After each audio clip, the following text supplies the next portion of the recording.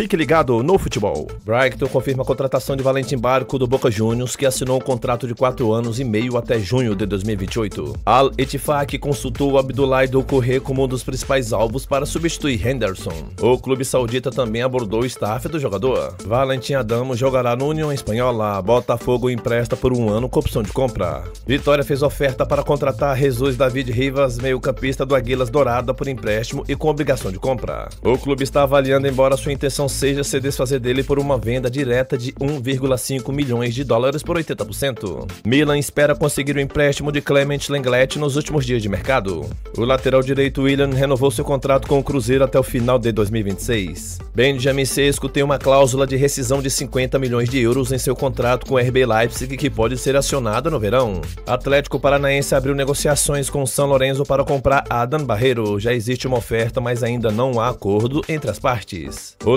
contratou o atacante Cyril Angong do Elas Verona em contrato até 2028.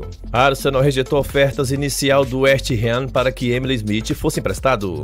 O Real Madrid fechou acordo para contratar Jeremy De Leon para o time de Castilha, contrato válido até junho de 2026. Newcastle e Liverpool estão de olho no meio-campista brasileiro Ederson do Atalanta. Botafogo faz proposta para contratar Rômulo, destaque do Novo Horizontino na temporada 2023.